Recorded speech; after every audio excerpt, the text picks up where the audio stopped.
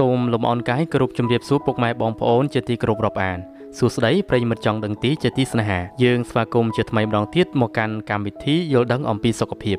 កាលពីកន្លងទៅយូរមកហើយខ្ញុំបាទជម្រាបជូនអំពីគុណវិបត្តិដែលយើងទទួលទានអាហារដែលមានរសជាតិហឹរហឹរពេកដោយឡែកថ្ងៃនេះរៀងដូចចម្លាយបន្តិចដែលខ្ញុំលើកយកម្ទេសដែលមានរសជាតិហឹរតែវាអាចជំនួយដល់សុខភាពយ៉ាងច្រើនរបស់យើងផងដែរ តើពុកម៉ែបងប្អូនចង់ដឹងទេថាផ្លែម្ទេសមានអត្ថប្រយោជន៍អ្វីខ្លះចំពោះសុខភាពនោះ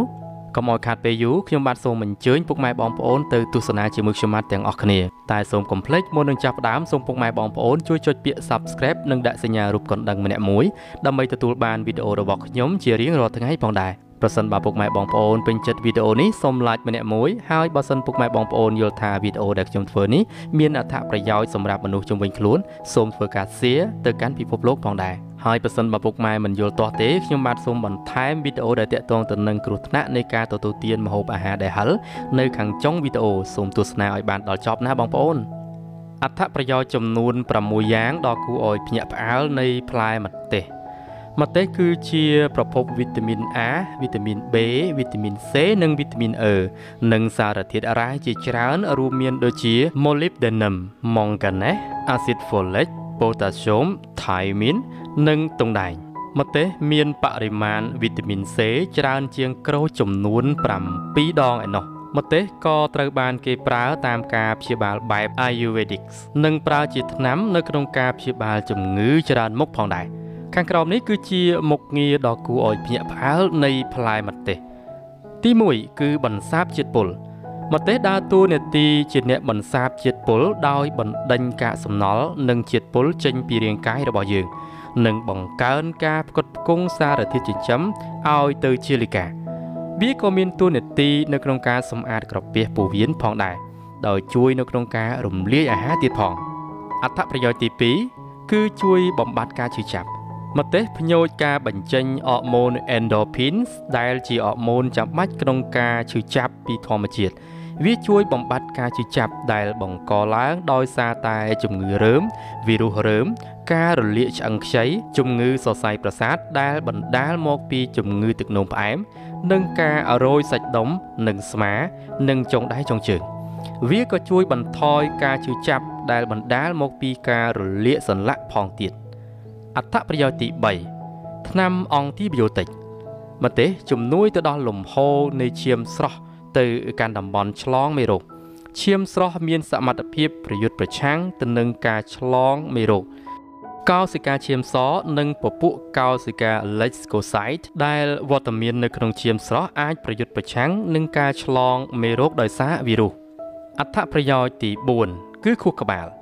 សារធាតុសកម្មកាប់សាយសិនដែលមាននៅក្នុងម្ទេសភ្ញូចខួរក្បាល នៅក្នុងការបញ្ចេញអរម៉ូន endorphin ហើយផ្ដល់នូវអារម្មណ៍រីករាយទៅដល់យើង នៅពេលដែលយើងបរិភោគវានេះជាហេតុដែលមនុស្សមួយចំនួនធំញៀននឹងការបរិភោគម្ទេសអត្ថប្រយោជន៍ទី5គឺជំងឺមហារីកវាត្រូវបានគេកត់សម្គាល់ឃើញថាវីតាមីន C សារធាតុ beta carotene និងអាស៊ីតហ្វូលិក ដែលមាននៅក្នុងម្ទេសគឺជួយអាចបន្ថយហានិភ័យនៃជំងឺមហារីកក្រពះពោះវៀនធំ ចំណែកឯម្ទេសពណ៌ក្រហម គឺមានសារធាតុខាតណុយនិងលីកូប៉ែនដែលជួយទប់ស្កាត់ការកើតជំងឺមហារីកជាច្រើនអត្ថប្រយោជន៍ទី6គឺជំងឺគាំងបេះដូងម្ទេសសម្បូរទៅដោយវីតាមីន B6 និងអាស៊ីតហ្វូលិក វីតាមីន B6 ជួយកាត់បន្ថយកម្រិតខ្ពស់នៃសារធាតុ homocysteine កម្រិត homocysteine នេះខ្ពស់ត្រូវបានគេបង្ហាញថាអាចបង្កឲ្យមានការខូចខាតទៅនឹងសរសៃឈាម និងមានការតាក់ទងជាមួយនឹងការកើនឡើងយ៉ាងខ្លាំងនៅហានិភ័យនៃជំងឺគាំងបេះដូងនិងជំងឺដាច់សរសៃឈាមខួរក្បាលម្ទេសបានបំលែងសារធាតុ homocysteine ទៅជា molecule ផ្សេងទៀតដែលមានអត្ថប្រយោជន៍នៅក្នុងការបញ្ចុះកម្រិត cholesterol យ៉ាងណាដែរពុកម៉ែបងប្អូនបន្ទាប់ពីទទួលជ្រាបនៅអត្ថប្រយោជន៍របស់ម្ទេសពុកម៉ែបងប្អូនប្រហែលជាមានការងឿងឆ្ងល់ជាមិនខានដោយសារតែម្ទេសវាមានជាតិហឹរចុះហេតុអ្វីបានជាវាមានអត្ថប្រយោជន៍សម្រាប់សុខភាពច្រើនម្ល៉េះចម្លើយគឺខ្ញុំបានរៀបរាប់ជូនអស់ហើយហើយឯកសារនេះខ្ញុំបានដកស្រង់ចេញអំពីកោះសន្តិភាព daily.com.kh សូមខន្តីអភ័យទោសរាល់កំហុសខុសឆ្គងដែលបានកើតឡើងដោយអចេតនាសូមអរគុណដល់ពុកម៉ែបងប្អូនដែលចំណាយពេលវេលាដ៏មានតម្លៃក្នុងការតាមដានទស្សនាវីដេអូខាងដើមនេះតាំងពីដើមរហូតដល់ចប់ឈប់ឈប់ពុកម៉ែបងប្អូនកុំតន់អាទៅណាតោះឥឡូវយើងទៅទស្សនាអំពីការទទួលទានម្ហូបអាហារដែលហិលជ្រុលតើបណ្ដាលឲ្យមានគ្រោះថ្នាក់អ្វីខ្លះដល់សុខភាព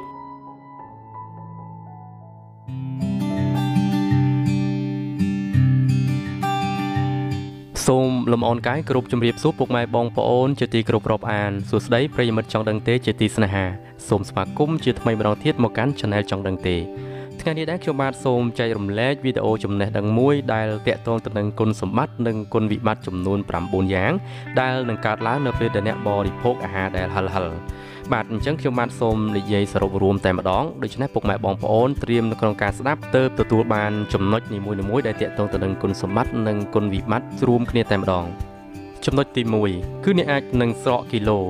ការញ៉ាំហឹលអាចជួយដុតរំលាយជាតិខ្លាញ់ទោះបីជាមិនអាចប្រៀបទាំងការធ្វើលំហាត់ប្រាណនិងការញ៉ាំអាហារសម្បូរទៅដោយសារធាតុចិញ្ចឹមសារធាតុមួយដែលមានផ្ទុកនៅក្នុងម្ទេសមានឈ្មោះថាកាប់ស៊ីណូអ៊ីតគឺมันមានផលប៉ះពាល់ទៅដល់សុខភាពឡើយ តែផ្ទុយទៅវិញវាជួយបង្កើនធម៌ពលនិងជួយសម្រកខ្លាញ់ទៀតផង ទី2គឺកាត់បន្ថយការឈឺចាប់វាសឹងតែមិនគួរឲ្យជឿនៅពេលដែលការញ៉ាំហឹលគឺអាចកាត់បន្ថយការឈឺចាប់បាន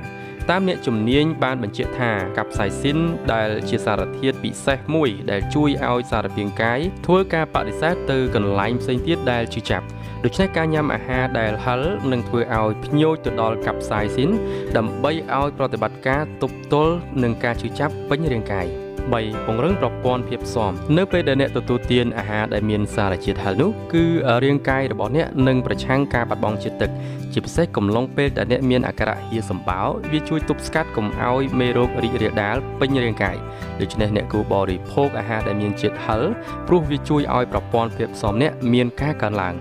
ទី4គឺវាជួយឲ្យយើងមានអាយុវែងតាមការសិក្សាស្រាវជ្រាវបង្ហាញថាអ្នកដែលញ៉ាំហឹលប្រមាណជា6ទៅ7ថ្ងៃនៅក្នុងមួយសប្តាហ៍គឺមានអត្រាមរណភាពទាបជាង14%ប៉ុន្តែមានប្រសិទ្ធភាពលុះត្រាតែអ្នកមានការរស់នៅល្អហើយញ៉ាំអាហារមិនបំផ្លាញសុខភាពផងដែរ ចំណុចទី5ការប្រើប្រាស់ជាតិស្ករនឹងត្រូវបានកាត់បន្ថយជាការពិតណាស់ដែលយើងដឹងថាការញ៉ាំអាហារដែលមានជាតិស្ករខ្ពស់គឺមិនល្អសម្រាប់សុខភាពនោះទេ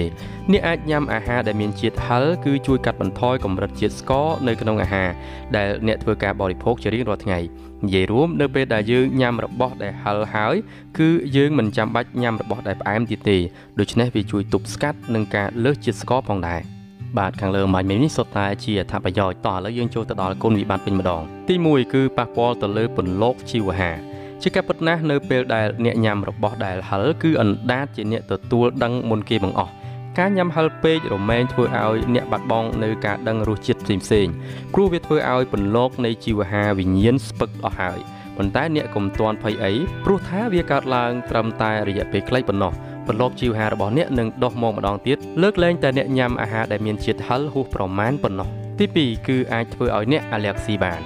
មនុស្សខ្លះគឺមានអាការៈដូចជាហើមមុខឬក៏រមាស់បន្ទាប់ពីញ៉ាំរបស់ហិលនេះគឺជាសញ្ញាដែលបង្ហាញថាអ្នកមានប្រតិកម្មដែលហៅថា allergy នេះឯងដើម្បីដឹងនិងធ្វើការបង្ការអ្នកគួរតែជួបជាមួយនឹងវិជ្ជបណ្ឌិតជំនាញពីគ្រោះអំពីអាការៈរោគបន្ថែមទៀត ទី3គឺបញ្ហាក្រពះអាចនឹងមានភាពធ្ងន់ធ្ងរប្រសិនបើពោះរបស់អ្នកឧស្សាហ៍មានបញ្ហាការហិលគឺជារឿងដែលអាក្រក់បំផុតការញ៉ាំអាហារហិលអាចធ្វើឲ្យអ្នករាក់រូសអាការៈក្តៅក្នុងពោះហើយវាមានសភាពធ្ងន់ធ្ងរឡើងធ្ងន់ធ្ងរឡើងប្រសិនបើអ្នកមានជំងឺក្រពះពីមុនមកហើយទី4គឺចុកនឹងក្រហាយចុងដង្ហើម ម្ទេសគឺមានផ្ទុកនៅជាតិអាស៊ីតដែលធ្វើឲ្យក្រពះក្តៅហើយវាអាចបង្កឲ្យមានភាពរ៉ាំរ៉ៃក្នុងរយៈពេលយូរដូច្នេះវាធ្វើឲ្យមានផលប៉ះពាល់នៅពេលដែលអ្នកដកដង្ហើមគឺមានភាពពិបាកជាងមុនបើសិនបើអ្នកមានអាការៈបែបនេះអ្នកអាចញ៉ាំទឹកដោះគោឬក៏របស់ត្រជាក់ត្រជាក់ដូចជាការ៉ែមដើម្បីបន្ថយជាតិក្រហាយនៅក្នុងខ្លួនប្រាណ